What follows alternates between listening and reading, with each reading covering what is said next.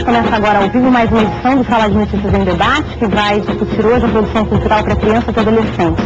O que os nossos filhos consomem como entretenimento e o que essa geração está produzindo. Esse é um assunto que interessa a você? Então fique com a gente.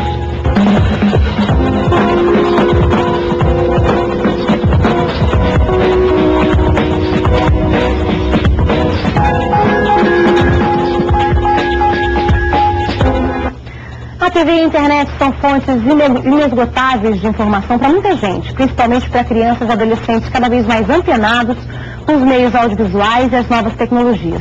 Por meio das telinhas, eles têm acesso a filmes, desenhos, notícias, blogs e muito mais. Mas essa turma também se interessa por outras manifestações culturais, sempre que há oferta, é claro. Muita coisa boa tem acontecido no cenário cultural para esse público. O incentivo à leitura nas escolas e espaços públicos é um exemplo e os resultados já aparecem. Mas no teatro, na música, o que está acontecendo? E o que essa geração está produzindo? Como está usando a internet para descobrir novidades e divulgar o que tem feito? Como esse movimento todo contribui para a formação dessas pessoas? Bom, essas são algumas perguntas que eu quero fazer essa noite para os convidados do Sala de Notícias em Debate. Nessa conversa estão comigo no estúdio Karen Ascioli, autora de livros infantis e diretora do Centro de Referência Cultura e Infância aqui no Rio. Lúcia Rabelo de Castro, professora e coordenadora do Núcleo de Pesquisa sobre Infância e Adolescência Contemporâneas do Instituto de Psicologia da Universidade Federal do Rio de Janeiro. Américo Córdula, secretário de Identidade e Diversidade Cultural do Ministério da Cultura. E o escritor Ademiro Alves, conhecido como Sacolinha, ele é coordenador do Centro Cultural Boa Vista de Suzano, São Paulo. Muito boa noite, gente, pela presença, obrigada pela presença aqui desde já. A gente começa essa nossa conversa de hoje mostrando alguns exemplos do que está acontecendo já pelo Brasil. Crianças e adolescentes que moram em comunidades nas grandes cidades, nas periferias, estão aproveitando oportunidades de acesso à música, teatro, cinema, e essa experiência parece que tem sido bastante prazerosa e enriquecedora. Vamos ver. Na tela grande, a luz apagada, tudo encanta crianças e adolescentes que nunca antes tinham estado em uma sessão de cinema. Tô achando super bacana, nunca entrei, nunca vi essa tela toda, tô super ansiosa pra ver o filme. Seja dentro de um caminhão no pé da favela Santa Marta, no Rio de Janeiro, ou numa mostra gratuita para estudantes de escolas públicas da periferia de Florianópolis, a ideia é fazer chegar aos jovens a oportunidade de acesso à sétima arte. É claro que as crianças têm acesso a desenho animado, a filme pela televisão, mas não têm acesso a essa magia do cinema do escurinho, porque, por exemplo, nas comunidades carentes que a gente está levando a nossa, tem que se assustam ainda quando apagam a luz. Na periferia do Recife é outro tipo de arte que dá um novo sentido à vida do pessoal. Num cenário de miséria e violência, um grupo de 130 adolescentes frequenta uma escola de música comunitária. Eles conheceram a música clássica, aprenderam a tocar vários instrumentos e estudam muito para ter uma chance de se profissionalizar e conseguir uma bolsa de estudos no exterior.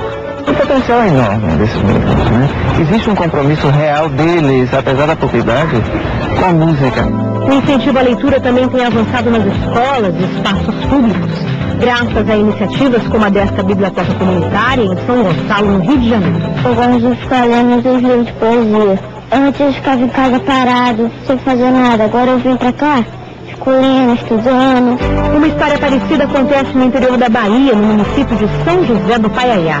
Uma biblioteca de 45 mil volumes, doada por um professor universitário, virou ponto de encontro da garotada. A repetência nas escolas da cidade caiu 20% e até os adultos sentiram a transformação depois que chegou a novidade.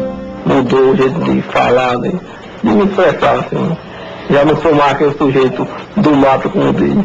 Já me sinto até uma pessoa social mesmo, e, sei lá, divertida totalmente divertido e bom, né? A gente vê na reportagem, né, como é que um adulto, para um adulto, né, essa transformação a partir do contato mais estreito com a arte, no caso da leitura, é, é tão legal, né? É tão bom para ele como cidadão, como pessoa. Para uma criança, um adolescente, por que é importante ter acesso a bens culturais desde cedo, professora Lúcia?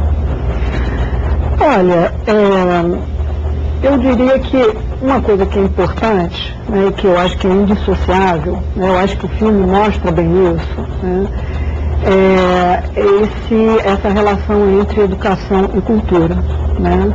Quer dizer, quando a gente fala de acesso à cultura, a gente está falando também que a cultura sempre está mediatizada por alguém, né, alguém que é significativo para a criança. Quer dizer, não adianta um filme, não adianta um livro, se né, é, vamos dizer assim, o adulto, seja o professor, seja a família, né, não explica para a criança qual é a importância daquele livro, livro daquela, a importância daquele filme. Você tem que ter um ambiente, né? É, quer dizer, a criança, quer dizer, para ser entronizada aí dentro de um mundo cultural, ela necessita que alguém a guie, né? Ela não pode cair de paraquedas nesse mundo cultural. Ela não, não, não faz sentido. Quer dizer, o sentido que ela pode fazer é sempre a partir desse outro que é, conhece mais a história, né? que pode trazer para ela a história daquele objeto cultural, né? daquele livro, daquele autor, né? de como, né? daquela obra, né? daquele produto humano, vamos dizer assim. Né?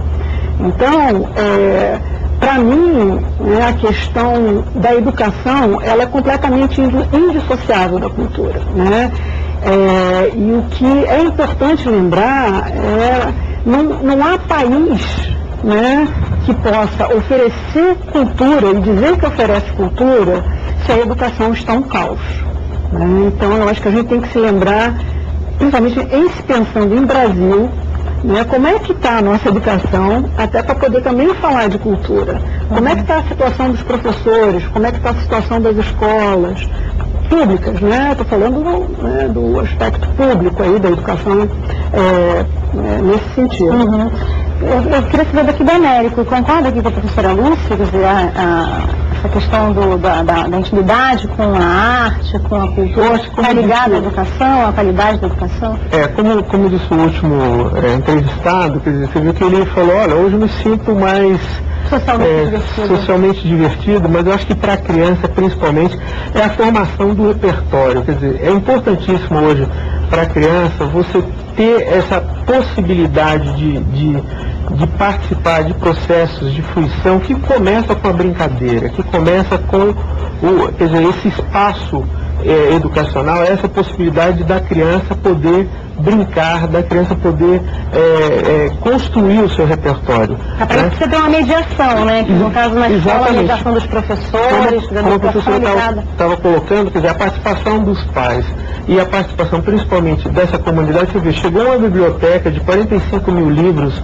numa cidade onde é, é, como é que é a participação das crianças nessa biblioteca? Como é que você vai trazer essas crianças para que eles possam é, é, ser introduzidos no mundo da literatura? Isso é, é e eu acho que aí é, nós temos hoje muitas tecnologias sociais desenvolvidas, né, pela, é, por ONGs, por sociedade, pela sociedade civil, enfim, com gente que quer sobreviver e quer até crescer dentro de, desse universo. Então, e esse é um processo educativo. E esse processo educativo, ele não vem é, só necessariamente com as, as estruturas educacionais já pré-concebidas. A gente vive hoje num, num, num momento, é, um, num paradigma de tecnologia, né, a acessibilidade, dizer, hoje nós temos quase 100 milhões de telefones celulares no Brasil, quer dizer, todo mundo tem.